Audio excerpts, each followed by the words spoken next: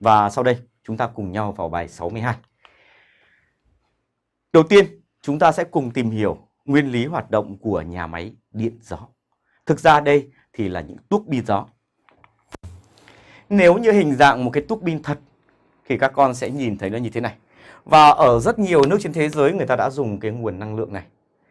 Ở đây thì dựa trên cái sự đối lưu của các dòng uh, khí và sự dịch chuyển của các vòng khí từ vùng nóng về vùng lạnh và ngược lại.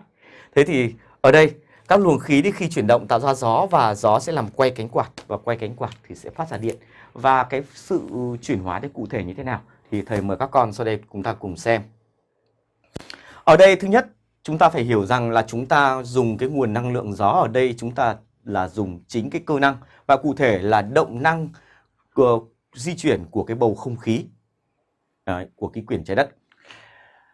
Thì gió có thể sinh công và chúng ta biết thừa rằng nếu những trận gió lớn và cụ thể là gió trong những trận bão hoặc siêu bão thì về nguyên tắc nó có thể sinh công, sinh công và thậm chí làm đổ cây cối và nó có thể đổ cả nhà,